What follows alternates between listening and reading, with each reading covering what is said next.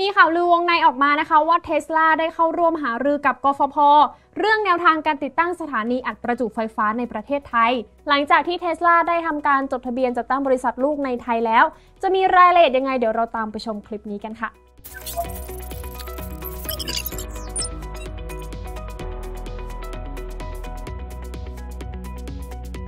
สวัสดีค่ะ พลอยมดนะคะ เมื่อวันที่ 24 พฤษภาคมที่ผ่านมาเนี่ยก็ได้มีกระแสข่าวใหญ่โตเลยจากเจ้าพ่อยักษ์ใหญ่แห่งวงการผู้ผลิตรถยนต์ ที่มีอีลอน มัสเป็น CEO นะคะ ได้ทำการเข้าจดทะเบียนจัดตั้งบริษัทลูกในไทยแล้ว หลังจากที่รัฐบาลมีนโยบายผลักดันการใช้รถยนต์ไฟฟ้านะคะ รวมถึงมีการลดภาษีการนำเข้ารถยนต์ไฟฟ้า CBU ด้วย โดยราคาขายปลีกรถยนต์ไฟฟ้า 2 ล้านบาทเนี่ยจะลดไปมากถึง 40%เลยค่ะ และราคาขายปลีก 2-7 ล้านบาทนะคะ จะลดไปถึง 20%ค่ะซึ่งถือว่าตอนนี้รถยนต์ไฟฟ้าเทสลานะคะ ก็ เป็นกระแสที่มาแรงอย่างมากในประเทศไทยเลยหลังจากที่ได้ทำการตั้งบริษัทลูกในไทยนะคะ แล้วก็มีรายงานออกมานะคะว่าเทสลาได้ทำการวางแผนการตลาดในประเทศไทยแล้ว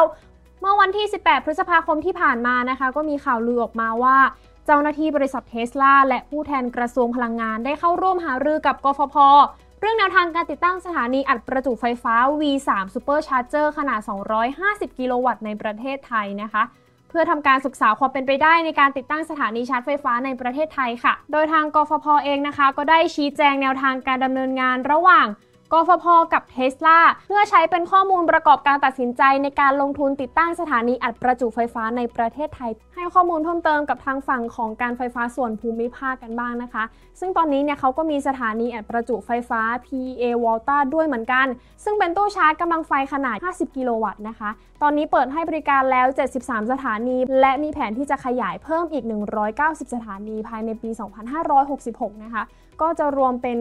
263 สถานีค่ะซึ่งสถานีอัดประจุไฟฟ้า V3 Super Charger ของ Tesla ที่มีกำลังไฟขนาด 250 กิโลวัตต์นะคะ ก็ถือว่าเป็นตู้ชาร์จที่มีกำลังไฟเยอะกว่าตู้ชาร์จทั่วไปเลย ถ้าเทียบกับ PEA Volta นะคะ ก็มี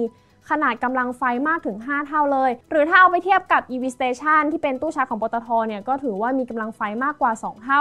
ซึ่งก็ถือว่ายังเยอะอยู่ดีนะคะ และนี่ก็เป็นอีกประเด็นหนึ่งที่เทสลาได้เข้าร่วมหารือกับกฟผ ที่เป็นผู้นำจ่ายไฟโดยตรงนะคะ ว่าจะมีความเป็นไปได้ หรือว่าจะมีผลกระทบอะไรหรือเปล่ากับการติดตั้งตู้ชาร์จที่มีขนาดกำลังไฟเยอะขนาดนี้ค่ะส่วนสถานี Tesla Super Charger จะเข้ามาในไทยเมื่อไหร่ก็ยังไม่มีใครทราบวันที่แน่นอนนะคะ แต่ก็อาจจะราวๆ 1-2 ปีไม่เกินนี้นะคะ เพราะว่า Tesla เขาได้รุกเข้ามาในตลาดไทยเรียบร้อยแล้วค่ะ แต่ก็ถือเป็นสัญญาณที่ดีสำหรับคนที่ชอบรถยนต์ไฟฟ้าของ Tesla นะคะ ยังไงก็ต้องรอติดตามกันต่อไปค่ะ ถ้าใครมีความคิดเห็นหรือว่าอยากแนะนำอะไรเพิ่มเติมนะคะ ก็สามารถคอมเมนต์เข้ามาพูดคุยกันได้เลย ยังไงคลิปนี้พลอยก็ต้องขอตัวลาไปก่อนไว้พบกันใหม่คลิปหน้า สวัสดีค่ะ